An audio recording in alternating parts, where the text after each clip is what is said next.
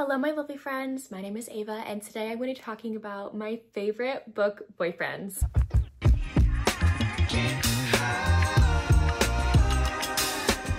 It was really hard to narrow this list down to 10 men, but I did it. Be proud of me. Be proud of me. Okay, I have 10 men here. They're not in order like of my favorites by the way i i no you're gonna kill me if you make me do that um but i loved all 10 of these men and so let's get into it one of my favorite of all time ren bergman ren freaking bergman from always Only leave by chloe Liese.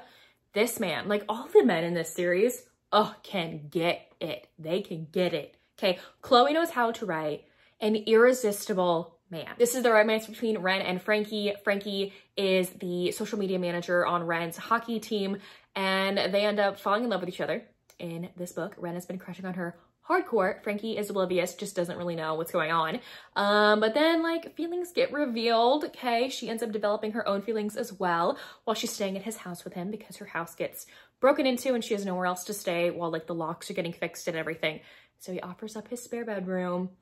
It's so good. Ren Bergman in here is the epitome of like a golden retriever lover boyfriend. Give that to me now, please. I need him in my life. I need him to exist in real life.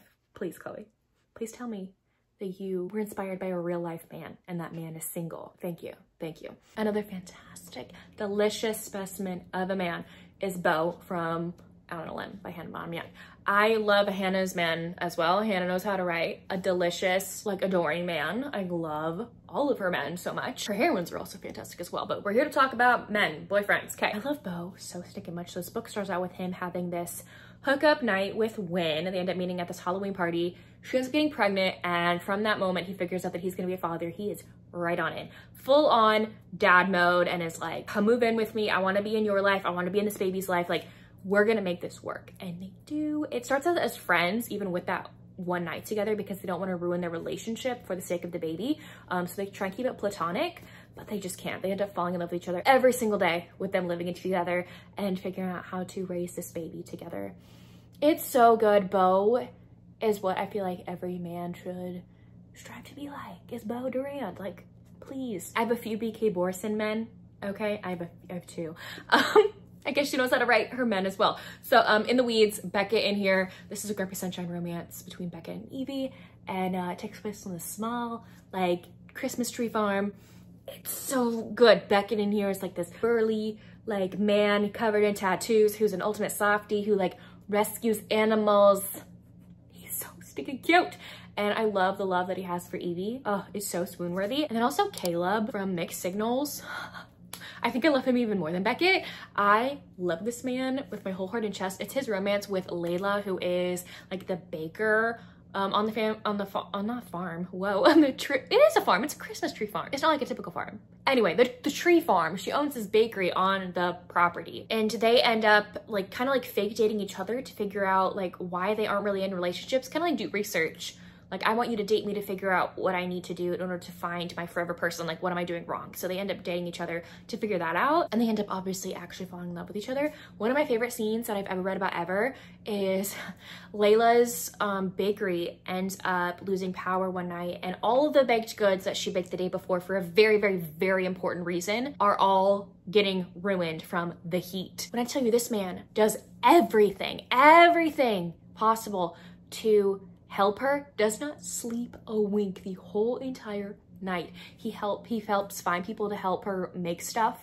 He has to find another generator. He has to do all these other things. He does all these things to help her achieve her dreams. I was absolutely in love with Caleb in that scene. I'm like, you're just doing everything possible to make your woman happy. And I love you. I love you so much. We have another Beckett. Maybe it's just Beckett. Beckett's Do It For Me, okay? So this is Beckett from Hidden Waters by Catherine Cowles. This is the romance between Addie and Beckett. They end up having to become roommates in this small town. Um, and Addie comes from a very troubled past.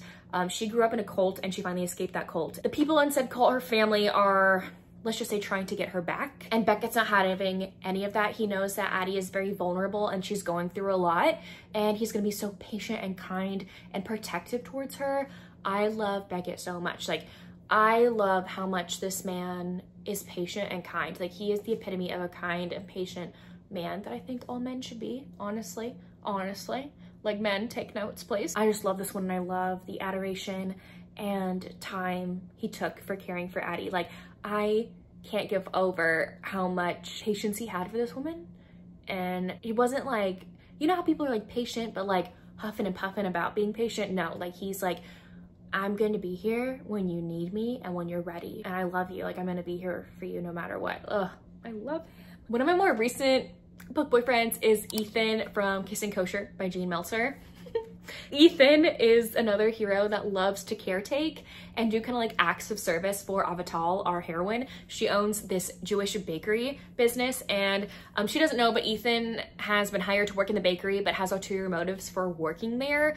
Um, his grandfather's actually like the business rival to Avital's grandfather who is the owner of the bakery she runs now. But Ethan ends up falling for this bakery in this community when he's working here, even though he has like ulterior motives, he's realizing, I don't think I need to be doing this. Like these people are amazing. My grandfather was wrong, but he doesn't know how to stand up to his grandfather. And ends up absolutely falling in love with Avital as well. Avital has a chronic illness and one of the best scenes that I've ever read about ever is like, oh, she has a lot of chronic pain with her chronic illness and he completely makes this space, this safe space for her at work in the office. And I was just like crying. I was like, you're gonna take all this time and care for this woman. Like, uh, it, it made me feel so loved. And I wasn't even the one like going through that, you know? But yeah, I love Ethan and I love how much he loved and cared for Avital. One of my most recent reads is The Friendship Study by Ruby Barrett. I'm in love with Jesse in this book. like, I'm getting goosebumps right now. I'm in love with him.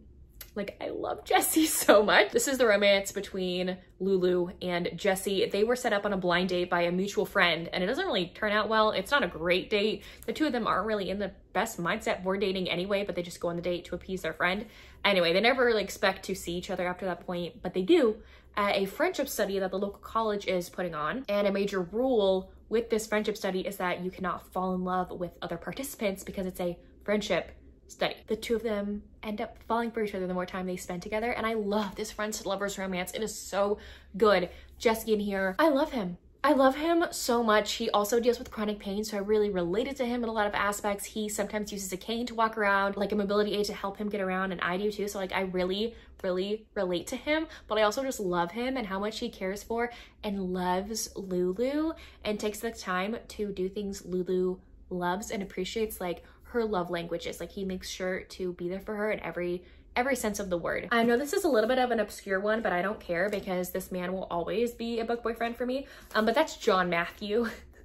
from uh, Lover Mine by J.R. Ward. He's essentially in like all the Black Dagger Brotherhood books starting from book two. But Lover Mine is his book with his heroine Xhex. I love John Matthew. John Matthew is not able to speak and the way that he communicates with his actions I love this man. I love uh, this vampire man. I love him. So this is book number eight in the Black Dagger Brotherhood series, which is a romance series all about this secret underworld world of vampires. And John Matthew is someone who didn't know that he was a vampire and he became a vampire because you're not bitten to be a vampire, you're born a vampire. And there's also his backstory. Like I get chills every time I think about his backstory and like all the things going on with him that he doesn't even know about. I love him so much. And then his romance with Xhex, like you have this giant, broody, quiet man who falls for this bad A, buzz cut, like muscly woman, like, ooh, like he is totally gone for her the moment that he sees her. Like he meets her before he even like fully becomes a vampire and he like is smitten right from the get-go. He's like smitten with her and I am obsessed with him and something happens to her in this book and he is going to tear down the entire effing world to find her. The entire world. So cannot stop raving about my man, John Matthew. Need I say anything that hold up this book? Our, uh, our hero in this one, Forever Book Boyfriend. Love him. I love him. I, I, I, I need him to actually exist. I bet other people feel the same way as me. He's the best. He's the absolute best. I love him. I don't have to say anything else. Welcome to my TED Talk. Thank you. And lastly, another one that I don't feel like needs a lot of explanation is Mr. Darcy from Pride and Prejudice. I love Mr. Darcy. I feel like this is another character that um, really shows how much he loves Elizabeth through his actions. Um, like he's realized halfway through this book with the failed proposal like, I have messed up. I need to fix this. Even if I don't get Elizabeth in the end, even if she does not end up loving me, I need to do these things for her to make her life better because I want her to have the best life possible. And oh, I love this man so much. I love him. I, I freaking love him. And I love him in um, the movies also. Like 2005 version is a superior version. Do not fight me. And um, I feel like he does a great job at encapsulating Mr. Darcy. And uh, he's gonna be forever a book boyfriend, a book husband, whatever you wanna call it. I, I love this man. Anyway, say how those are 10 book boyfriends for you. Let me know down below who your book boyfriends are and if you agree with any of mine. If any of mine are on your list, I would love to know. If you don't feel like commenting anything else, you can leave me any heart emoji in the comment section down below. But anyways, thank y'all so, so much for watching. I will see y'all soon in my next one. Bye y'all.